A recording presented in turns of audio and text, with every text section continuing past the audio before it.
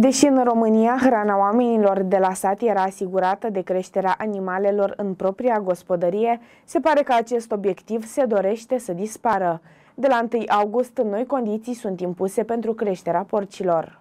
Românii care cresc porci în gospodării pentru consumul propriu vor avea o serie de restricții și vor trebui să ia măsuri de biosecuritate. Începând cu 1 august, nu vor mai putea ține în gospodării scroafe și veri pentru reproducere. Cred că e o aberație. Ce are cu un om dacă ține un porc, doi, pentru familia lui? Nu pe bișniță să te duci să vând, să nu știu ce. Dar pentru tine acasă, să se poate să nu avem așa ceva. Nu știu, eu știu ce gândesc guvernanța ăștia ai noștri acest guvern trebuie să plece cât se poate de repede și să lase oamenii să trăiască așa cum au trăit la țară.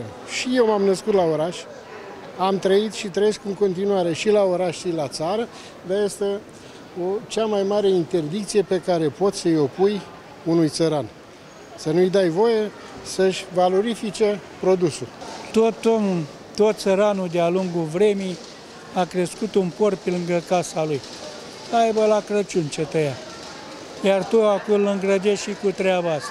De asemenea, va fi interzisă hrănirea porcilor cu resturi alimentare și se impune ca la intrarea în cutețe să existe dezinfectant pentru încălțăminte. Ce cetățean care dorește să crească uh, un porc în gospodăria proprie uh, este cu siguranță um, și este în siguranță și poate crește fără a fi îngrădit atâta timp cât uh, îndeplinește niște condiții uh, de creștere a acestui animal. Ca de altfel, așa cum am spus de multe ori, uh, trebuie să creștem animalele în anumite condiții de biosecuritate, condiții minime, care ne asigură ca noi să investim în acel animal și să consumăm o carne sigură.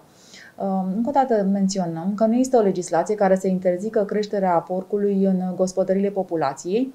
Există un proiect de ordin, ordin comun făcut cu Ministerul Agriculturii, în care vor fi specificate anumite reglementări privind condițiile de creștere a porcului, atâta timp cât la nivel european și în România încă evoluează focarea de peste porcină africană. Amenziile pentru cei care nu respectă noile reguli sunt de ordinul zecilor de mii de lei. Este foarte important de reținut că Odată intrat în gospodărie ar trebui să uh, schimbăm încălțările, iar atunci când furajăm sau adăpăm animalul, uh, trebuie să avem o încălțăminte alta decât cea din exterior, iar la, este recomandat ca la intrarea uh, în spațiu unde animalul crește, se furajează și se adăpează, trebuie să existe un filtru sanitar, adică minim, un minim de condiții de dezinfectare, un burete în care punem o substanță dezinfectantă, să fim siguri astfel că nu aducem boala și că avem un animal sănătos și avem ce să, avem ce să consumăm, avem ce să, ce să sacrificăm în gospodăria proprie. Actul normativ vrea să schimbe modul în care sunt crescute animalele de către familiile de la țară, chiar și pentru cei care nu vând porci, ci îi cresc numai pentru autoconsum.